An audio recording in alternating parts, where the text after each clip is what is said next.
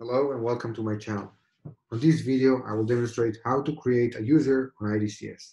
IDCS stands for Oracle Identity Cloud Service. It is the Oracle identity provider that provides authentication options to Oracle Cloud Platform. It can provide a lot of features and capabilities to authenticate users, including Active Directory integrations, SSO, sign-on policies, and so on.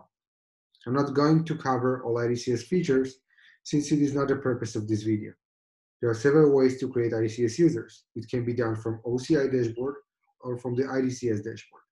To browse your IDCS dashboard, go to Identity, Federation,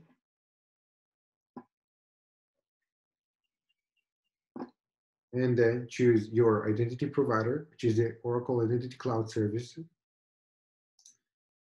And then you will see the IDCS URL. Just press it you will be redirected to the IDCS dashboard. In this video, I will create a user from the IDCS dashboard. Creating an IDCS user from the OCI dashboard will be shown on a separate video. So let's get to it. In order to create a user, we'll go to the IDCS dashboard menu. We see that the menu is different from the OCI menu. Well, we'll press users and add. When we create a user, we need to give the name of the user, and we can choose if we want that the email address will be the username or to choose a different username that is assigned to this email address. In this case, I've chosen I've chosen a different username, which is Ben IDCS test user that is assigned to my email address. Then I'll press next and I need to assign a user to a group. That group will allow the user to have capabilities and permissions on that application. In this case, I will just create a read-only user that is on OCI, or I can choose OCI administrator.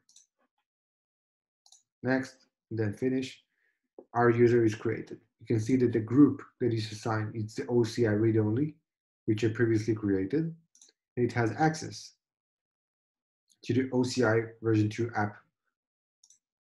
Once user is created, an email is sent to, to the email address of the account that was created. The email contains an activation link.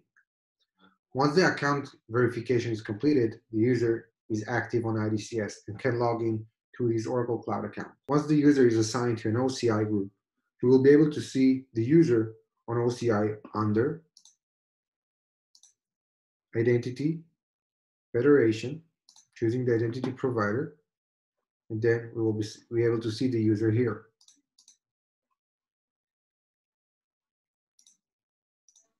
The user is managed by IDCS, but has all the OCI user capabilities, including API keys upload, SMTP credentials, etc. However, the user groups will be shown on a federated menu since his group assignments are managed through IDCS. We can see the group mappings or the identity provider section.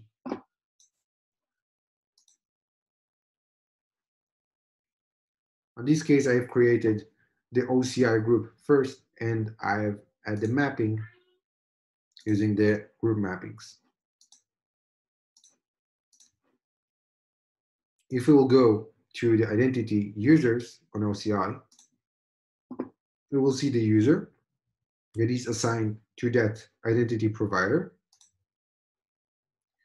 The group will be empty since everything is managed through the IDP, the identity provider, but we will be able to use all the user section and all the user capabilities from the OCI.